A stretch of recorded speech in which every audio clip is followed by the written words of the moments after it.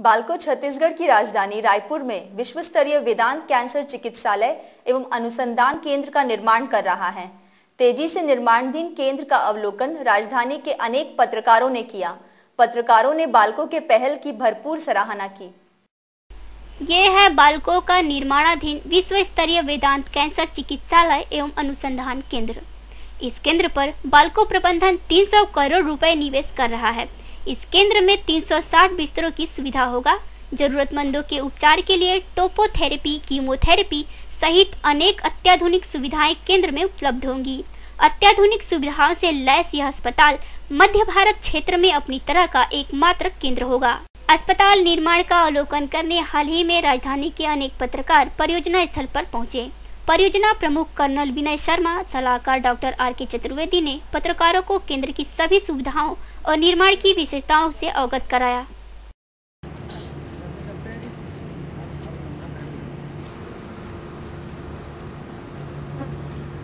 जाते हैं? वो पे रहे हैं। नॉर्थ साइड से दे रहे हैं। कलवर्ट आती है। जस्ट साइड पे कलवर्ट तो हमारी मतलब बाउंड्री का कोना है।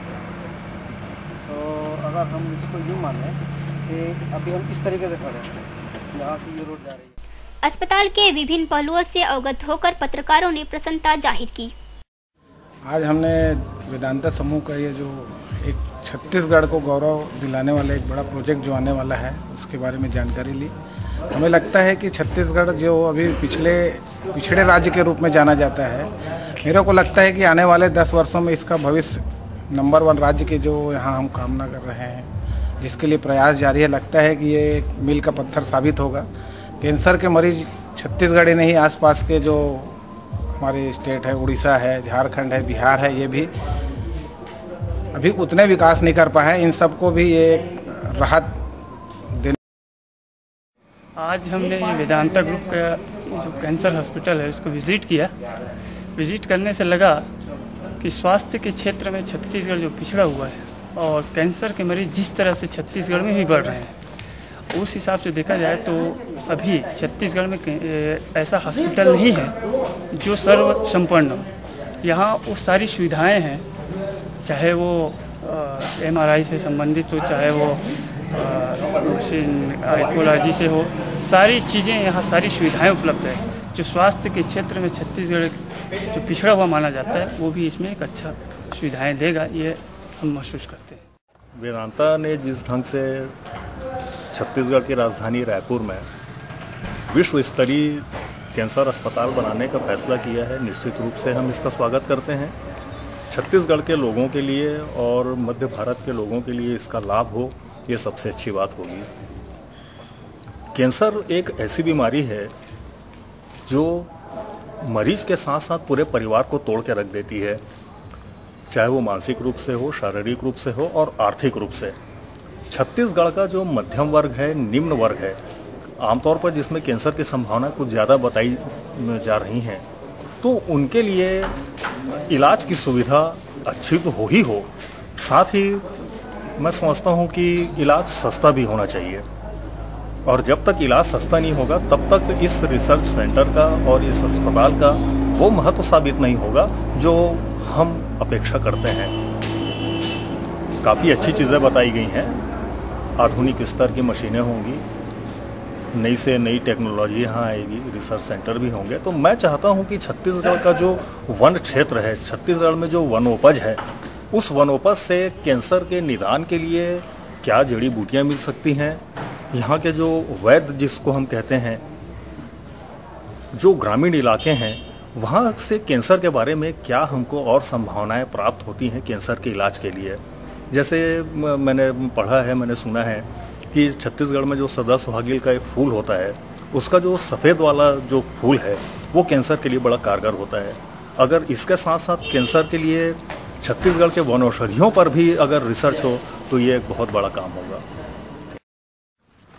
कैंसर निसंदेह इस समय पूरे न केवल भारत, पर दुनिया में एक बहुत ऐसी बीमारी है, जिस पर लगातार शोध और अनुसंधान हो रहा है। और छत्तीसगढ़ में भी ग्रास रूट लेवल पर भी जो मामले सामने आ रहे हैं, उससे हमारे छत्तीसगढ़ के लोग भी काफ़ी परेशान हैं। बाहर भी जाना पड़ता है। ऐसे समय में वेदांता का ये जो प्रोजेक्ट है, हम लोगों ने देखा और उससे छत्तीसगढ़ को काफ़ी आशा जगी है कि आने वाले एक सालों में एक साल में जब प्रोजेक्ट कंप्लीट होगा तो न केवल छत्तीसगढ़ के लोग का यहाँ इलाज होगा, पर जिस तरह का काम चल रहा है, जिस अंतर्राष्ट्रीय स्तर पर इस अस्पताल को ले जाने की कोशिश है तो मुझे लगता है कि बाहर के लोग भी यहाँ आएँगे और छत्तीसगढ़ को भी उसका लाभ मिलेगा और छत्तीसगढ़ की एक नई पहचान वेदांता के माध्यम से पूरी दुनिया में बनेगी। तो हम सब पत्रकारों की ओर से मैं हार्दिक शुभकामनाएँ देता हूँ कि यह प्रोजेक्ट बहुत अच्छे से कंप्लीट हो और सरकार और समाज दोनों मिल के जब साथ चलते हैं तो निसंदेह प्रगति होती है और जो लक्ष्य है वेदांता का कि सिर्फ़ कैंसर का इलाज ना हो, वरन कैंसर मुक्त छत्तीसगढ़ भी हम बनाएँ। तो उस दिशा में भी ये अस्पताल काम करेगा तो मुझे लगता है कि आने वाले समय में कैंसर का इलाज भी होगा और धीरे धीरे छत्तीसगढ़ कैंसर मुक्ति की ओर भी बढ़े। यह सब हम सब लोग की भी यही अभिलाषा है। मैं हार्दिक शुभकामनाएँ देता हूँ पूरी मीडिया की ओर से और छत्तीसगढ़ की ओर से कि यह अस्पताल सफल हो। और निसंदेह सफल होगा और छत्तीसगढ़ आने वाले समय में कैंसर मुक्त हो, ये हम सब का भी सपना है। ये बहुत अच्छा लगा कि छत्तीसगढ़ जैसे रिमोट एरिया में वेदांता बालको की तरफ़ से ये जो प्रोजेक्ट लाया जा रहा है, समझ लीजिए ये वक्त की एक ऐसी मांग है जिसमें न जाने कितने लोगों का भला होगा।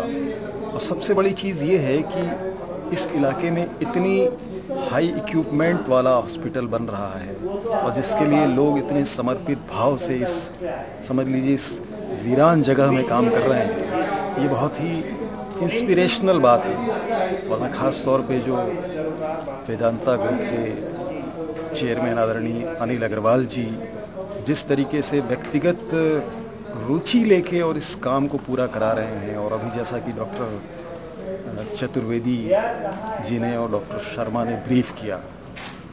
उससे लग रहा है कि लोग मन लगा के काम कर रहे हैं और उनके मन में कहीं ना कहीं ये भावना है कि एक अच्छा हॉस्पिटल टाटा मेमोरियल की तर्ज पे बना हुआ एक उसी के कंपैरिजन में सारे मानकों को पूरा करने वाला हॉस्पिटल यहाँ बने इसके लिए वो प्रयास कर रहे हैं। तो ये चीज़ अच्छी लगती है।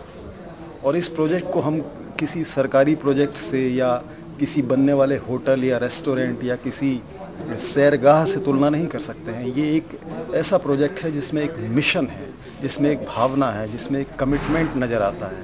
तो मैं अपनी हार्दिक शुभकामनाएँ